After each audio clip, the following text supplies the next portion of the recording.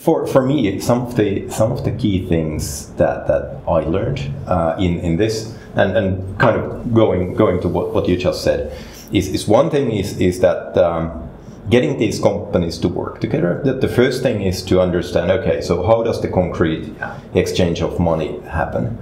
But one of the core things is how do these companies build trust together on their common operation? because they, they are separate companies, but, but in order to work together, trust is really important. I, I think what, what sets EU apart in these things is this possibility of building trust and that the structure that we have around uh, in EU right. Allows you to, to build these trust-based relationships where you can say that okay if you tell me that you will give me money mm-hmm. I will trust you mm-hmm. that, that we can work together and, and this this makes things unique yeah and I can say a few words about that. I think it's important, of course, to have the trust framework. Mm-hmm. You know, that could be a technical model, you know, like rule books approach. You know, you sure. say what you're going to use the data for, and you use the data for what you say is going to be useful. Mm-hmm. All those needs to be there in place to build this trust, mm-hmm. and rightly so.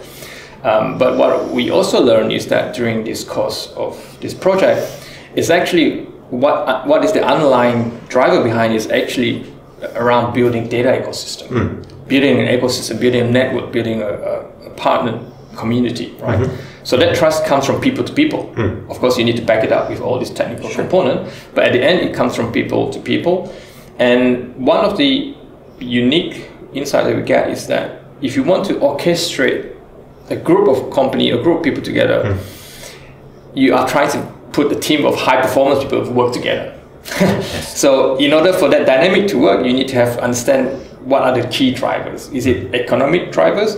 Is it you know the overall gain of the ecosystem, the mm-hmm. value they create is bigger, mm-hmm. or is it simply just for the you know developing new product and new market size? Sure. So there are different dynamics that is in play, and if we are not conscious and aware on all this dynamic, then we are just living it by chance.